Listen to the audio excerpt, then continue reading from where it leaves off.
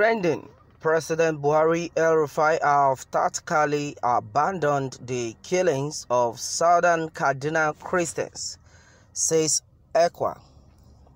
The Evangelical Church winning all has accused both the Kaduna state and federal government of abandoning the victims of attacks in southern senatorial district of the state.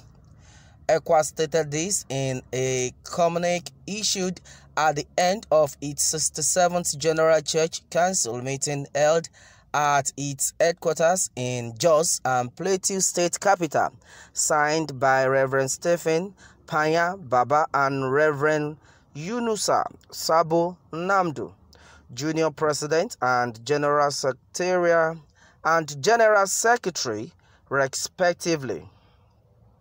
It reads the council views with serious concern the unabated attack of armed herdsmen and bandits across the country, especially in the Middle Belt and Northern states, particularly in Southern Kaduna, Niger, Plateau, Benue, Kogi, Katsina, Zamfara, Taraba, and Adamawa as they continue to destroy lives, farms, and properties of innocent members of these native communities with impunity.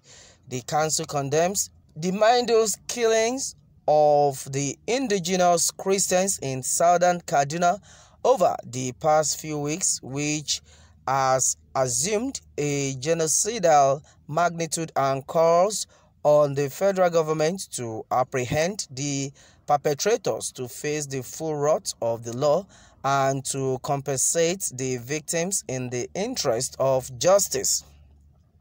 The council notes with grief the several attacks on southern Kaduna Christian communities, which are the strongholds of ECWA, where over 120 persons, including infants and women, have been killed in the last two weeks alone, with scores injured and thousands displaced from their villages and farmlands by armed Fulani militia without any care from the Kaduna state and federal government. It added that the manifest nonchalance, nonchalance of both the Kaduna state and federal government to the plight of our compatriots is suggestive of their loss of the innate human, human sense of value for life and their seeming abdication of their primary responsibility of securing the lives and property of their citizens. Furthermore, the council frowns at a recent statement credited to a presidential spokesman explaining away these genocidal massacres as reprisal killings. According to the church, no responsible government would want to be perceived as holding briefs for terrorists unless it is complicit. Does the council even more worried about the carelessness of the government in changing the narrative of the attacks, bending it towards blaming the victims when, in actual sense, it is the government that has woefully failed in its constitutional responsibility of protecting its citizens. In recognition of its divine mandate, the Council remains all of the sacredness and I inviolability of the right to life, stating that no personal authority or institution has the right to terminate the life of another unlawfully and urged everyone to respect the sanctity of human life and end the wanton bloodletting in the land, it stressed.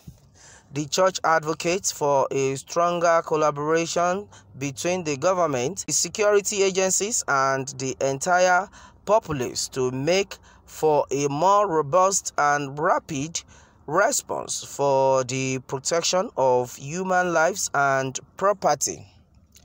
Kaduna killings, Buhari El Rufai told to resign immediately.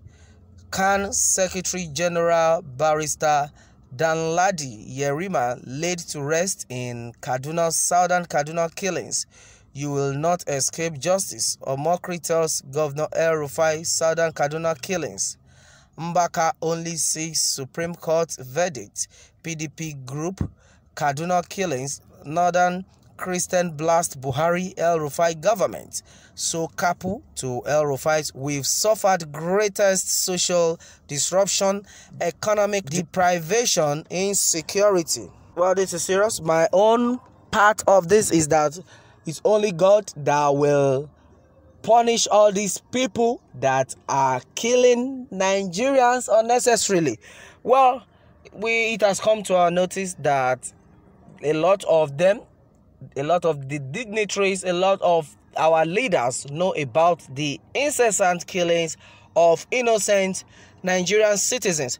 Well, Okpala Chus has said on Twitter, he said, I am not surprised at the way our federal government have been handling the Kaduna genocide because any government that rewards terrorists and bandits slaughtering human beings handsomely can never be trusted to protect ordinary Nigerians. That is it. Well, yes, they are pursuing Islamization agenda. They told us we paid deaf yes. Okay, their tenure would not last forever and is going to average for his children. So that is our prayer. We know that. But meanwhile, it is not El Rufai's, but Buhari failed the entire Northwest by allowing his Fulani Bonu kinsmen to be killing and maiming houses in hundreds every day. The kidnapping along Card Abuja Road are alarming.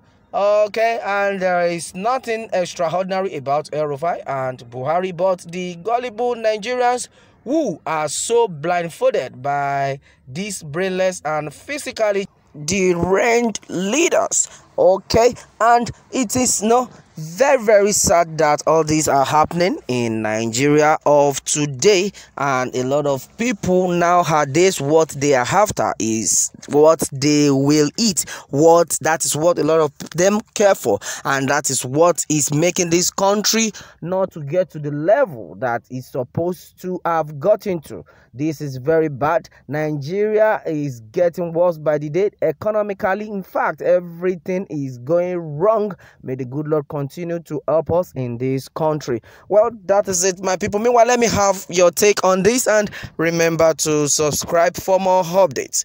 Thanks and God bless.